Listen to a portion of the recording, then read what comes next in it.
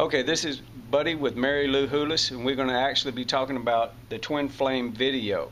That's one that's going to be featured. Um, as a matter of fact, right after we get through talking, the video starts. Um, I really personally myself enjoyed that video, and I know you will too. Well, you know, I think I've lived that video because twin flames, you know, the Bible says it's iron sharpening iron. So I feel like twin flames are what really spark us into really faster growth. And I've lived it, you know, so it's, we come here with soul contracts. You know, between lives, I believe we make soul contracts. So it really helps us understand the people in our lives, buddy, and, Oh, yeah. and what they're here to really help us do because we know every relationship is really an evolutionary um, push and impulse for us to grow. So I think they're going to enjoy that. What is a twin flame? Now, you know? stay tuned for deep insight into what Twin Flames really is. Thank you. Thank you very much.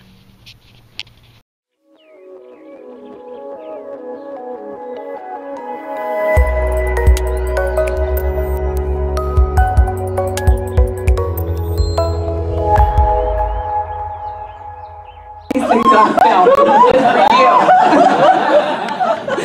uh, you I'm not spiritual? Not too bad. anyway, are we ready? Yep. Okay. Like Nina said, you know what I do? I teach a lot of what I'm going through. So today I'm going to kind of take you with some of the things that I've been going through. You know, we are all divine lights of divinity, and we're here to experience every thought and every emotion. And really, that's what we're doing right now. How many of you are experiencing things in radical perceptions right now? I mean, we're really changing. And if we believe in synchronicity, everything in our life is happening and it was worked out before we came here by a higher intelligence. And we've, uh, we've talked about this many times. You know, we think there is a coincidence, but the word coincidence means two lines coinciding perfectly. And when you really understand there is no coincidence in our life, everything is being worked out in synchronicity. And that means that everyone we meet, every circumstance in our life we encounter, never comes by chance.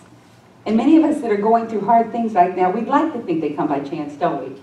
But really, they're here, and that's what I want to talk about today. They're here for our growth because we've come here to explore the potential of an infinite universe through all the through these relationships, through people that we encounter, through places, through things, and through all the situations in our lives. So in reality, you are the light of divinity in form. Every one of us. We've said in the Bible it calls it says God is light. So we're really photon energy, all of us. So we're the light of divinity in this form, in this realm of time and space, to have an opportunity to experience our infinite potential. Because all of us get, are really coming to know that we are divinity and that we have limitless potential. So we're here to experience that. But what pushes us? You know, I've always said, everybody wants change. How many want change? Everybody wants change, but we don't want anything different. And sometimes we have to be pushed into change. We just don't want that. So, so your infinite that exists in every parallel dimension. So it could be that everything that happens in your life, every interaction with a person that comes into your life is orchestrated by what we call a soul contract. And that's what I'm going to talk about today. How many of you have ever read about soul contracts? Well, you, I may be putting them in a different perspective today, but you just have to, I've been studying them, you just have to bear with me. So there's a book, and maybe some of you have read, it's called Journey of the Soul. How many people have read that in here? Anybody? And what it, it's by this uh, Dr. Michael Newton, and he's a master hypnotist and a psychologist. And he did these past life regressions, and he began to take people into their super consciousness where they could go between lives and see how they planned their lives. And they all, I think he did like 29 people in the book, and how between lives, when they went in the spirit realm, they began to plan their lives.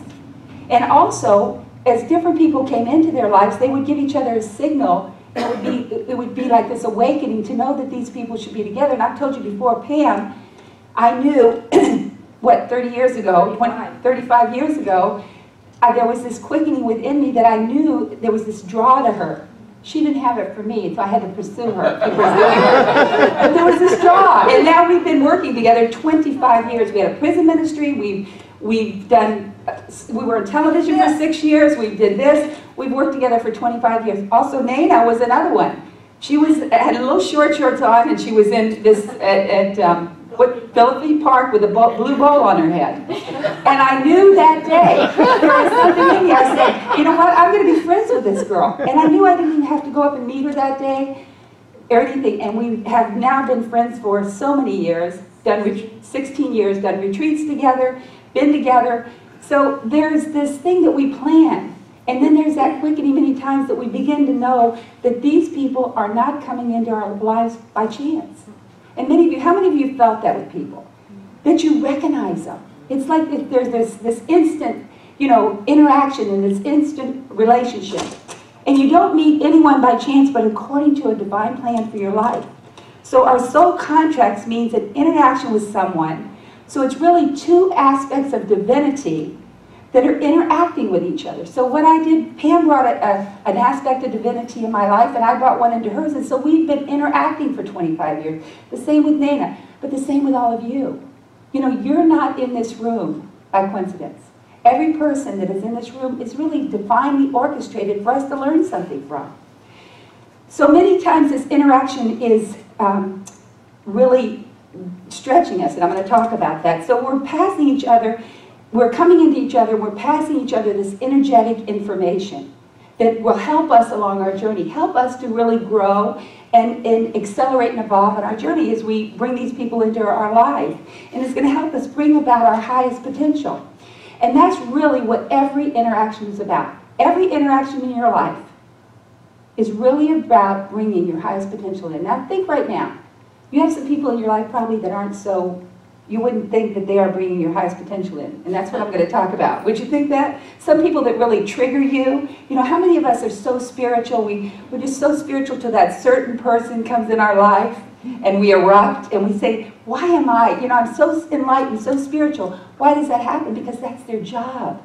That's their job to really bring us to that point, which I'm really getting ahead of myself. So every, act, every interaction is really about a relationship. And so we begin to look at every interaction. We're dissolving and fulfilling soul contracts. I had a soul contract with Pam and Mark before we even came here. I mean, we worked together for 25 years. We definitely, she said when she came to Florida, they were traveling musicians. And they traveled for many years. And they came to Florida and Pam said, I don't know why. I said, I don't, I don't want to travel anymore. I, I just want to stay here in New Port Richey. Because there was a plan and she didn't know it, but our, our unconscious knows that we have this soul contract that we set up to meet each other, to start this journey together, and to bring these two pieces of divinity together to have this interaction. So if we could see that every interaction is dissolving and fulfilling some kind of soul contract, we would look at each relationship as really an important part of our growth, even those ones that are the hardest relationships. And we understand if we don't learn the lesson or absorb, uh, absorb the lesson, it's going to keep repeating and repeating. How many of us have had a certain type of person in our lives, and we don't learn the lesson, and we bring the same person back into our lives again? You know, and until we get that lesson or absorb, uh, absorb what we're supposed to learn from that, we keep repeating it. And that's what, so what is a soul contract? Now this is, you know, Nana might say it a little differently. People might say it but this is my take on it. A soul contract is either motivating you into taking an action step that will enable you to embody higher wisdom so it can resolve the circumstances you're going through, or a soul contract is motivating you to make choices that you've never made in the past. It's pressing you in some way. It's doing something to really help you take an action step to begin growth, to evolve. So you can raise your vibration and bring forth a, a fuller potential in this lifetime. And that's what every interaction is about. What if we looked at people like that? You know, if, when somebody new came into our life we started looking for that, looking for what that interaction is bringing and know that they have a gift for us, it would change everything. Or, now this is another thing I think a soul contract in, and this is maybe happening in your life right now, or it can put you in a situation that may seem unjust and unfair. So you can become aware of judgment. You know, the Bible has a statement, and it says this. It, it has a principle. It says, judge not, that you be judged. And what it means is if you begin to judge others, you're really judging yourself. And what happens when we judge ourselves is we really, or judge someone else, we withhold love from ourselves. When we're in a judgment mode, you cannot judge and love yourself at the same time.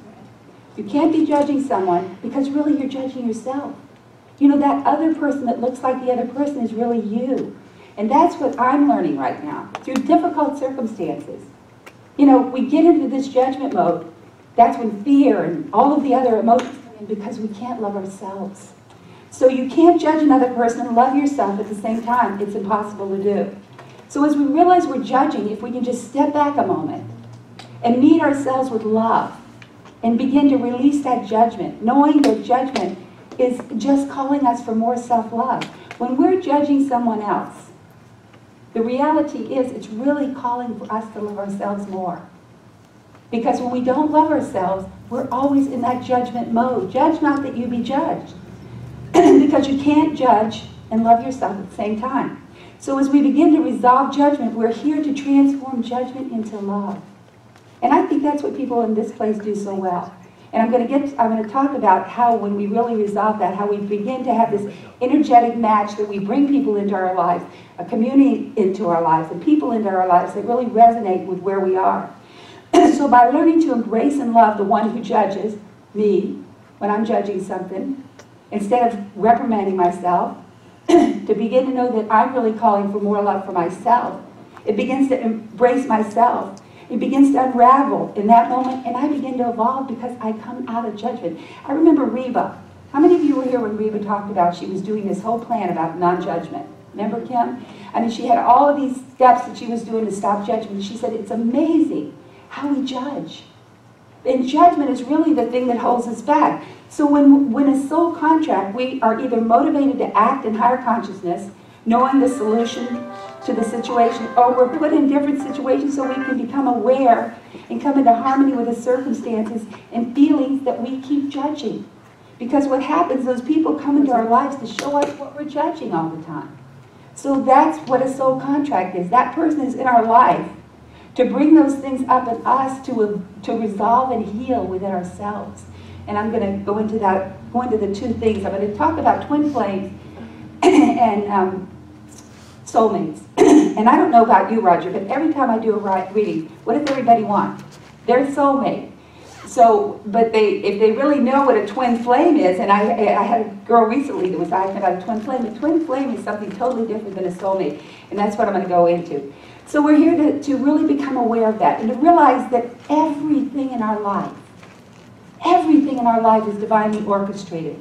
A judgment is a belief or insistence that something's out of balance in your life and it's not right what's going on. That's really what a judgment is. If I say the circumstances that I'm in right now are out of balance and they're not right in my life, I've made a judgment.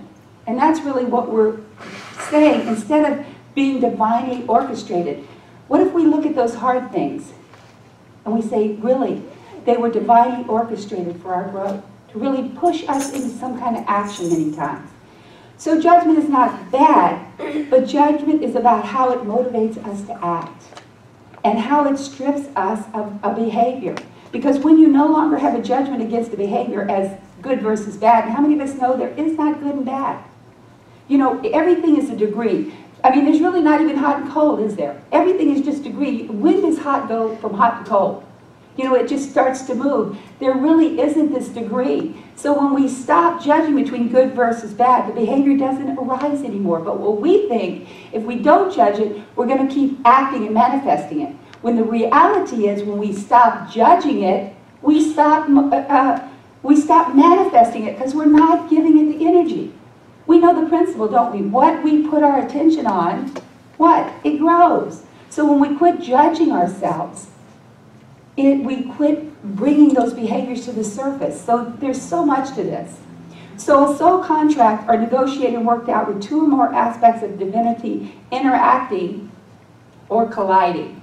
Now, how many of have a relationship right now where two aspects of divinity are colliding instead of really interacting? But I'm going to show you sometimes those are the most powerful relationships in your life. So sometimes we collide in, in something we call a relationship. And all our soul contracts are worked out through what we call relationships. You know, everything in life is worked out through a relationship. Think about that. What's the most important thing that's happening in your life? At this moment and forever, from the time you draw breath, It's your relationship, relationship with your parents, relationship with your siblings. And when we know everyone has been divinely orchestrated in our lives, then we'll ask the question, what am I here to learn from this relationship? What is it here to teach me? Or learn to know what is these patterns that keep repeating in my life trying to show me? Help me, that are here to really help me evolve my consciousness because if everything is divinely orchestrated, then everything in your life is here to evolve your consciousness. That's why you're on the planet. That's why we all draw breath. You know, we have pleasure. We have all these things that we do, but the, the truth is, the bottom line is everything here is trying to make us evolve our consciousness. And can I honor the relationship, no matter how it is, as a divine orchestration? And that it doesn't mean that the person who is interacting with you understands that it's a divine orchestration.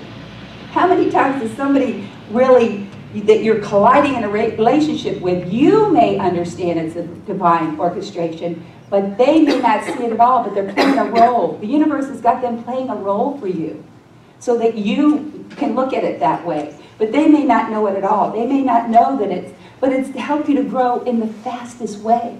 Because what we say, like I said earlier, we all say we want to change, but we don't want anything different. So when these relationships come in that are really igniting us, they press us into moving. They, they make us so uncomfortable sometimes that we have to move. So those are ones that really put us on the fast track to growth. And many times they're the ones that cause the most chaos in our lives.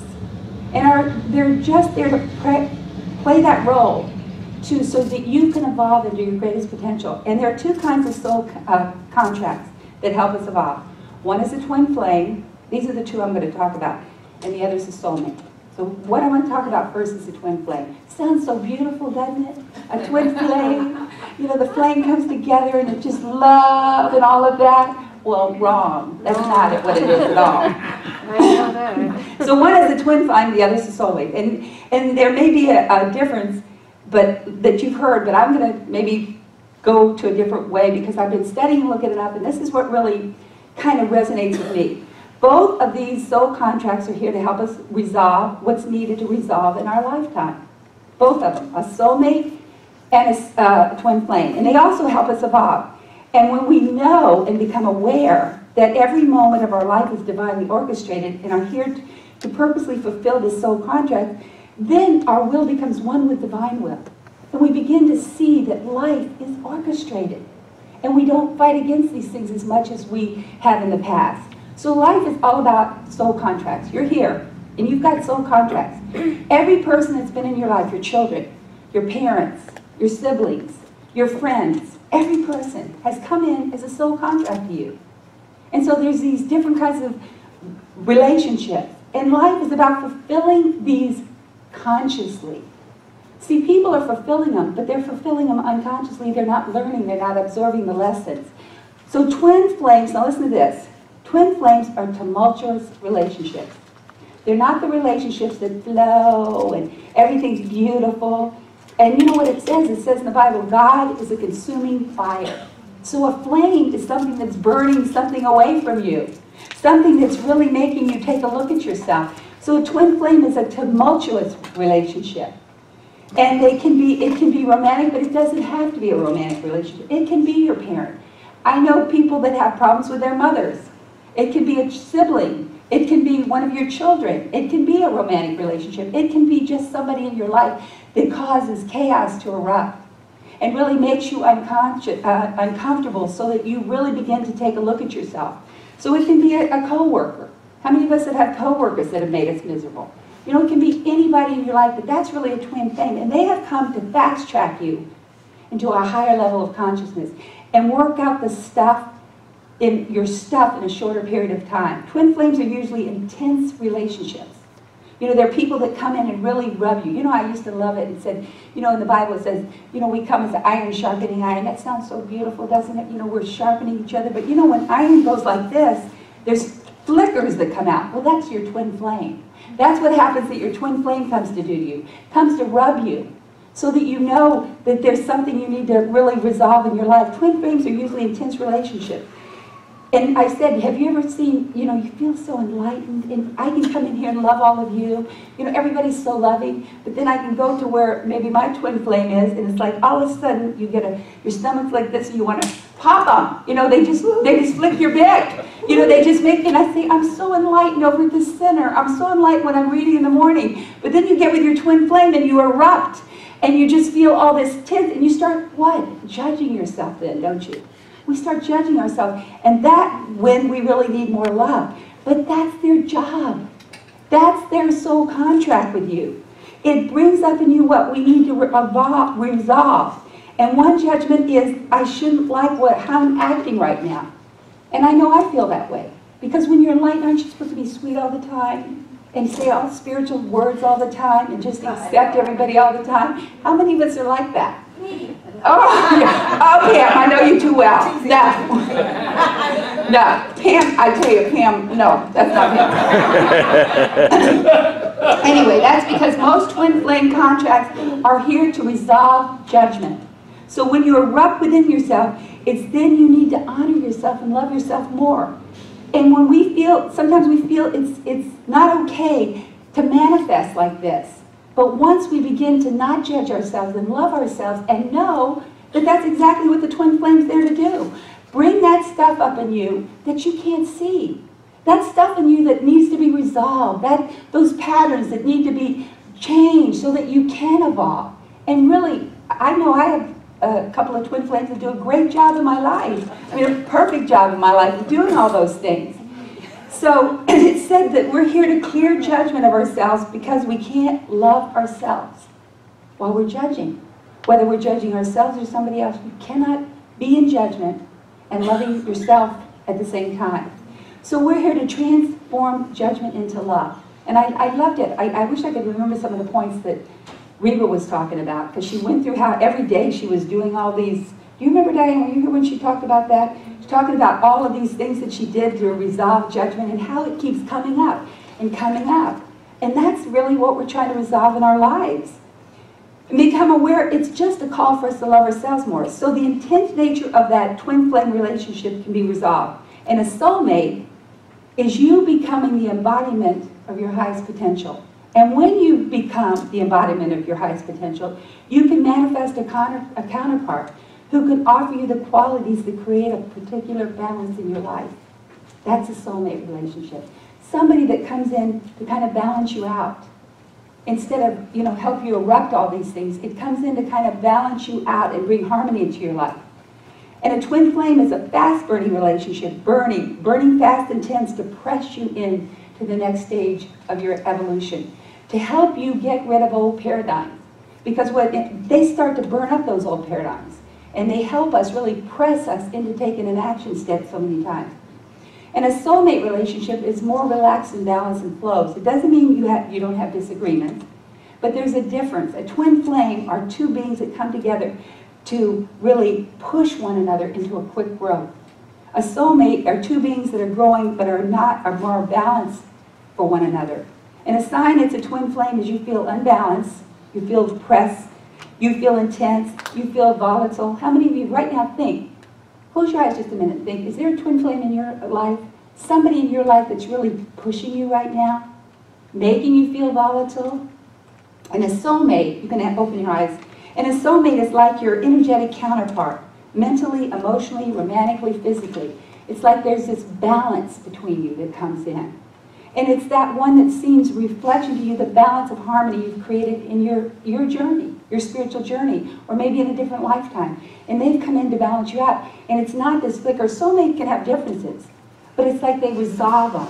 They can resolve them, and they can listen to one another. I know with a twin flame, they don't listen. uh-uh. they, are always, they're always accusatory, and they don't listen. Twin flames don't listen, but the soulmate listens and they, they hear each other. And then they get more heart-centered. Twin flames don't come from the heart many times, but they're helping you. That's what I want, they're helping you. So, they, so soulmate is somebody that brings balance into the relationship. And it can be romantic, but it doesn't have to be romantic. And they can, a soulmate can come at different levels of your life. And I know people, I feel like both Nana and Pam are soulmate to me. So it doesn't have to be a, you know, a, a um, romantic relationship, but we balance each other out in different aspects of our divinity. I mean, Pam, going to tell you what Pam does for me.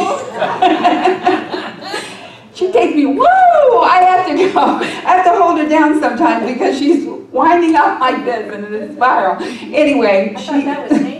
Thought that was me though. Well, both of them. Both of them. Let's see, where am I here? So you're trying to tell us you're the stable one? In Bobby's relationship, I happen to be the stable one. Thank you. so cute. Okay, so it's, I- I'm the speaking now, I have the stage. I get it next. So a relationship will bring you into healing stages. Because what they do for you is bring your stuff up. You know, I've always said, if hell's not in you, hell ain't gonna evolve, you know, or or break out when you come into conflict with something. But they bring that hell up in you. And to put it in a position that you will start learning more about yourself and really start evolving and resolving some of the issues in your life. You know, we love it when everything is just peaceful, don't we? God, it's so nice when everything is just peaceful and we're just floating along. But we're not changing. We're not growing. You know, it's these other, these things that come into our life that really push us to evolve. And a soulmate is someone you meet when you reach a certain point of completeness and wholeness on your journey. And it's then you start to attract more soulmate energy. And I feel like I've attracted soulmate energy in here. I know Nathan comes every week, two days a week, and Kathleen, and Taylor, and so many, and Larry, and people that come in here. You can just feel that there's a, there's a soulmate energy that you begin attracting these people that you really resonate with, and it's so beautiful. And you and then you start attracting um, uh, relationships. But a soulmate also can be a soul family that you attract, or neighbors, a community. When you've gotten through the stages when you're awakening, and you're resolving the soul contracts of old paradigms and friends. How many of you, when you started to evolve, it's like your friends disappeared? That's what happened to me years ago. It's like I started to and I said, Where's all my friends? You know, I had friends for 20 years and they just drifted out of your life because your energy changes. And then you begin to bring in those people that resonates with you. And as you really begin to deal with your issues, you bring in that soul family. You begin to create that community that resonates with you, that you can really interact with. It's so beautiful. And as your vibration begins to rise, you know, you bring in those people that resonate with you. Soulmate energy is also when you can manifest the community that meets you at a similar vibration. Now, I think right now, we've manifested this. Because all of us are at a very similar vibration. We're hearing what's going on. We want to evolve. We know that we're in this game called life down here too, and we're learning and, and bringing these relationships in to really transform our lives so we're really on the same vibration. I couldn't be speaking this someplace else. They wouldn't get it at all. But here we're all in the same vibration. So soulmate energy when you can manifest that community. Twin flames are who press you so that the best is brought out of you no matter how despicable the universe has them play a part for you. No matter how hard they are on you. No matter how much they turn your life upside down. They're really there to play that part for you, to put you on the fast track, to bring that stuff to the surface so you can really begin resolving it. And they're there to play that part. And you, as you give away your power until you make the decision to trust the universe as your guide. And we're all learning that. I don't know about you, but I know that all of us are being pressed in that way. And you want to be away from that place of receiving abuse and being disrespected physically and mentally. And you get out of the situation, and then the contract is resolved. And how many of us have had those kind of contracts in our lives? With a sibling or a romantic or whatever. And we take it and take it until that abuse really comes, and then we can step out of that and really resolve that contract. And that's where many of us are right now and you get out of a situation and you make a spiritual, or you can go back and be spiritually codependent. And you go back into the closet and just put up with it. And we all make those decisions. When a twin flame relation turns up the heat, that's when life is trying to evict you. Is trying to change you from your old paradigms and trying to push you out. And it's not comfortable. It isn't comfortable. And when we've really learned our lessons and when we're really ready, that's, you know, when we can do that. And the key is there's no such thing as working out a soul contract with any form of abuse. And that's the thing we're all learning too.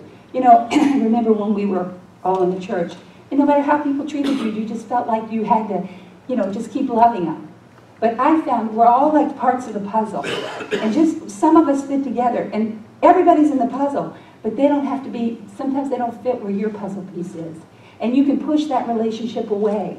Because when abuse has starts happening, that soul contract is over and you can cut that relationship. And really, you know, not feel guilty about it, not judge yourself about it. And that's what we're learning too, because every piece, I always look at life like that puzzle. Every piece of the puzzle does not fit together. so there's no such thing as working out a contract where abuse is. And it's challenging you to shake things up. Take the snow globe of your life and begin to shake it up and change things. And like I said, we say we want change. I, I, I've been preaching change for years. Now, when, when change comes to me, I go, this is really difficult. It's so much more difficult than we imagine it is. Because really, what somebody said to me one time is really, we go through a death. It's like a death of an old paradigm, a death of an old world that we had all these belief systems that this is the way things should be. And it's like you're dying to those things. And a death is not easy. But what death brings is a rebirth. And it brings us into a higher evolution. And it helps us really to, to evolve. So, not accepting what is if we're in toxicity. And here's when you know a twin flame relationship is over. If you, within yourself, don't want to be with that person anymore, but you're scared to say it, the contract is over. When you don't enjoy being with somebody, you know, I, I know it could be a relative in your family, and sometimes we have to cut those relationships, you know, because they're so toxic. When you feel that you don't want to be with that person, that's when you can really cut that contract. But a soulmate may have friction, but it works out easily because it's a balanced, more balanced relationship. And both are willing, like I said, to, to listen, to apologize. And everything naturally works out because then you become more heart-centered. So that's when you know that that relationship is really not that twin flame, but it's really that soulmate because you it begins to flow and you work things out and you know that that person listens and that you can really resolve those things between you. Whereas in a twin flame, they remember everything you've done wrong. Everything. it's, like a, it's like a PowerPoint presentation of your life. And they tell you everything and they accuse you of everything. They've got it all down pat. They're going to tell you everything you've done wrong. And they build a case and they got the evidence against you. and everything is accusatory. And, and then when you want to ask them any questions, they're, they're still accusing. They're not listening. It's not heart-centered you know, it's not something that you can really resolve. So these are the ways we know really how the relationship is. And li life is always trying to bring up all of us to, higher, to our highest potential. Everything in your life is working for that, to press you into your highest potential. But in a soulmate relationship, the other person reflects back to you. Eh, that soulmate works things through and works things out together. And it's so much more balanced and more flowing. So a twin flame energy is not about working things out with another person. It's what they can help you work out within yourself. And the question is, can we see that gift? Can we see that gift? Because sometimes we feel alone, don't we? We feel alone when we have that twin flame and, you know, everything is pushing us. But what it's really pushing us is to go within ourselves and begin resolving those things within ourselves you know, instead of looking for somebody outside of ourselves to, re to resolve it. It's all about what they help you to work out within yourself. A twin flame is like, here's the stuff you haven't worked out, and here's the challenge. you can clear the contract until a view, view shows up. Then you have to resolve the contract. Because none of us, we used to think that, didn't we? I know when I, when I was in church, you know, no matter how people treated you, I used to always say, I remember this girl, she prayed so beautiful. God, she just took you away when she prayed. And then she was mean as a snake. As soon as she opened her eyes, she was so mean as a snake. You know? I, but I kept trying to be friends with her. Because, you know, you, I would hear how beautiful she prayed and everything. And then I finally said, you know, I think this relationship ain't going to work. So anyway, we're learning. And the twin flame brings up in us betrayal, disillusionment, heartbreak, confusion. All of these things begin to erupt within us and we begin to have our stuff come up to the surface. But what happens when we bring our stuff to the light, they're really giving us a gift because we're beginning to see it, and then we can begin to resolve it. So if we can look at that twin flame and know that everything is divinely orchestrated, and they're really there playing a part for us that the universe gave them, even if they don't know it, it helps us to get through these situations that are really difficult. And a spiritual gift trying to initiate us into a higher consciousness by breaking you completely open if you allow it. And I, I tell you, I know that that's true. Because every fear, every piece of guilt, they can bring all that stuff up in you. And if you allow it to just totally break you open, you get to the point where you don't put the pieces of your heart back together again. And you're open to love in a more intimate, a more passionate, the people around you in, in a better way. And you transcend the cycle, which means you become free to love more deeply, more intimately in every moment. And when that love meets others in a moment of engagement, for just a second or maybe a lifetime, it allows you to love in every moment, engage in love, affair with every soul that comes into your life. So what a, really a twin flame is really doing for you, it's breaking open your heart that you can love more completely and more unconditionally, not just to romantic, but to every person that comes into your life. You, if your heart is open, you begin to feel this love in a powerful way. You connect with people in a more intimate way. How many of you are experiencing that right now? You're connecting people to people in a more intimate way. It's like you have this overflowing love for them. I mean, people that come into the center, I feel that so many times, and maybe it is because of a twin flame that has broken my heart open, that I can really uh, allow myself to love in a deeper way. You see, these twin flames, we look at them as the enemy so many times. And in reality, they're bringing a gift to us. Doesn't feel good, doesn't feel comfortable. You feel like you're in the fire. They really put you in the fire. But if you can keep focusing that they are really doing something to open your heart, it changes everything. And when you love meets moments of engagement, you love friends and family in such a different way. And whether anyone loves you back or not, you're fulfilled just by the loving. Just by giving that love away, it fills you up. And you just feel so full because your heart has been broken open and you're allowing yourself to love in that deeper, more intimate way as people come in. And it doesn't matter if they love you back or not. Because you've evolved and you know. And this is what those twin flames bring for you. And that's the transformation the twin flames bring. When they broke, break your heart open to a new reality.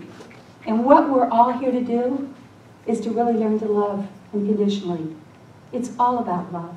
And that's what I love about all the really powerful spiritual teachers. They'll talk about all this stuff.